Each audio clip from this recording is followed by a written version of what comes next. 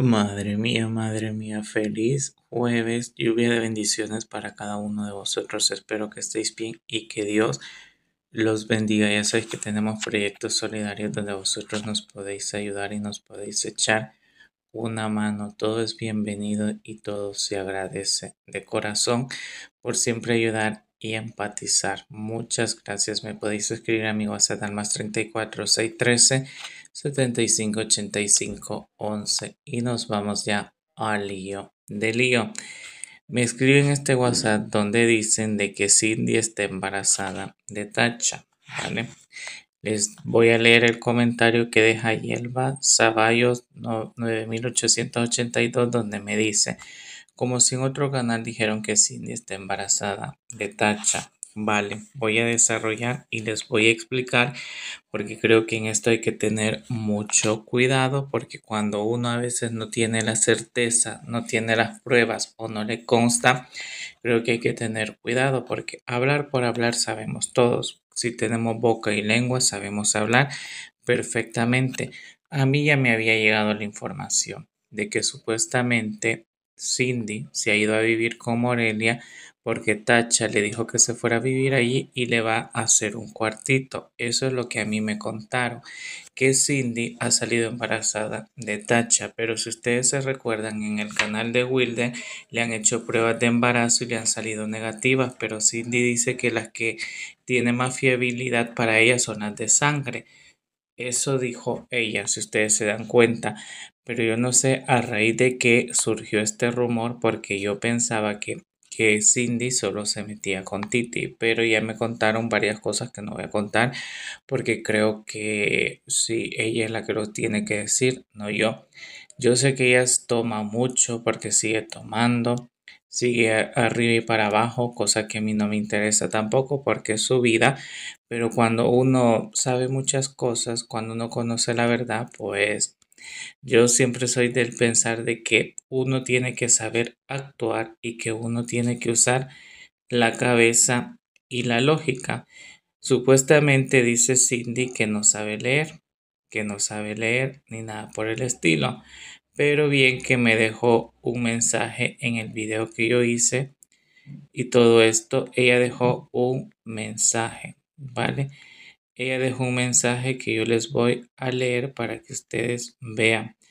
En el mensaje me lo dejó en el video que yo dije que era Titi el que le había regalado las flores y todo eso. Y ella me dijo que no, que me enterara bien, que no sé qué, que no sé cuánto.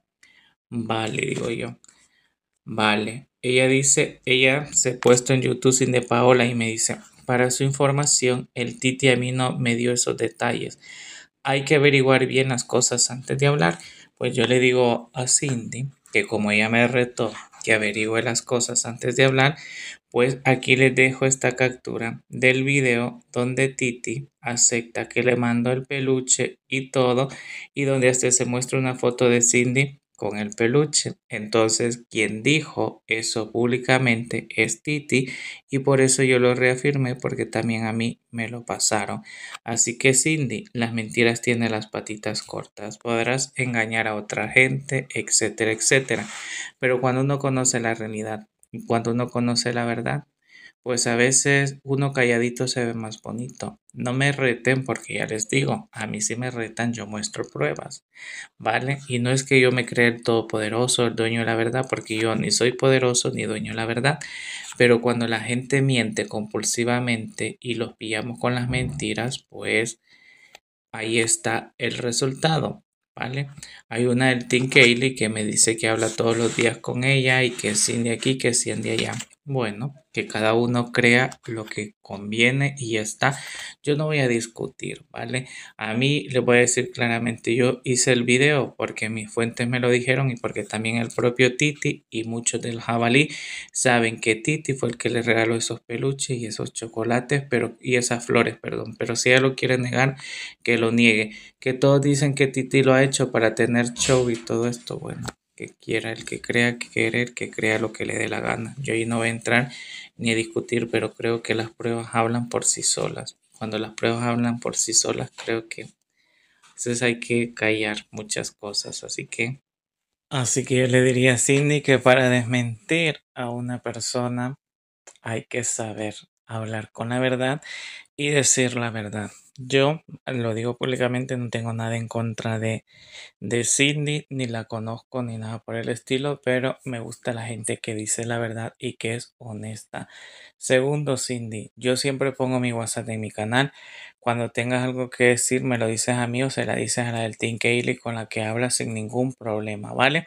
Pero hay que decir la verdad. La verdad siempre hay que decirla y no hay que mentir. No hay que mentir ni decir lo que a nosotros nos conviene. Yo lo de ella con, con Tacha no lo puedo asegurar, simplemente a mí me vino esa información, pero como yo siempre digo, yo no voy a afirmar algo cuando no me muestren pruebas, ¿vale? Así que yo respondiendo al comentario y también me han escrito por WhatsApp diciéndome, Mario, es que en un canal ya lo dijeron, que no sé qué, que no sé cuánto.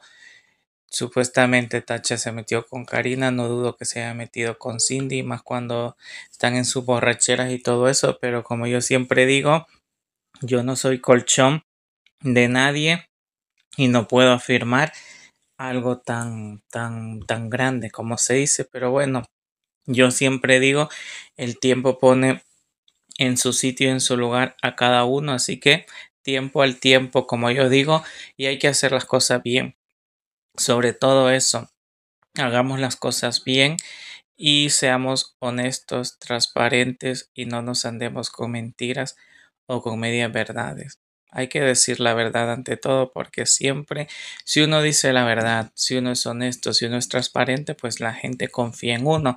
Pero si uno empieza a mentir, si uno empieza a decir esto y aquello y no es honesto y no es transparente, entonces la gente dice, este no está diciendo la verdad este vive en mentiras y este no es honesto. Por eso, ¿qué les digo yo? Digamos la verdad, seamos honestos, seamos transparentes y no mintamos o no contemos lo que nosotros queremos contar y así mentir a las demás personas. Transparencia, honestidad y que el tiempo ponga en su sitio y en su lugar lo que tenga que poner. Así que a seguir siendo honestos, a seguir siendo transparentes y sobre todo a seguir diciendo la verdad.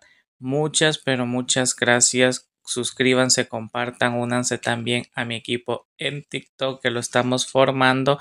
Y un fuerte abrazo y que Dios los cuide y les multiplique todo lo que hacéis, ¿vale? Os quiero mucho, un abrazo grande y aquí estamos, como decimos, aquí estamos al pie del cañón, siempre en la lucha y tirando hacia adelante lluvia, lluvia de bendiciones. Y como yo siempre digo, a suscribiros y gracias por estar allí, por apoyarme y por creer también en mí. Eso se agradece mucho. Un fuerte abrazo y os quiero mucho.